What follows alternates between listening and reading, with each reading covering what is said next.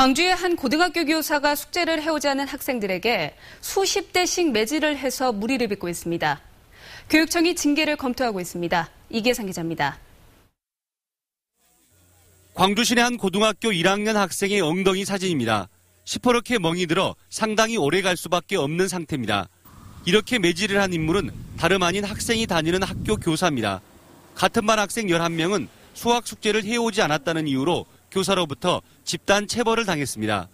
숙제 검사하는 날이 숙제 검사했는데 좀, 좀 음, 학생들은 숙제를 하지 않은 문제당 한 대씩, 많게는 4, 50대씩 엉덩이 매질을 당했습니다.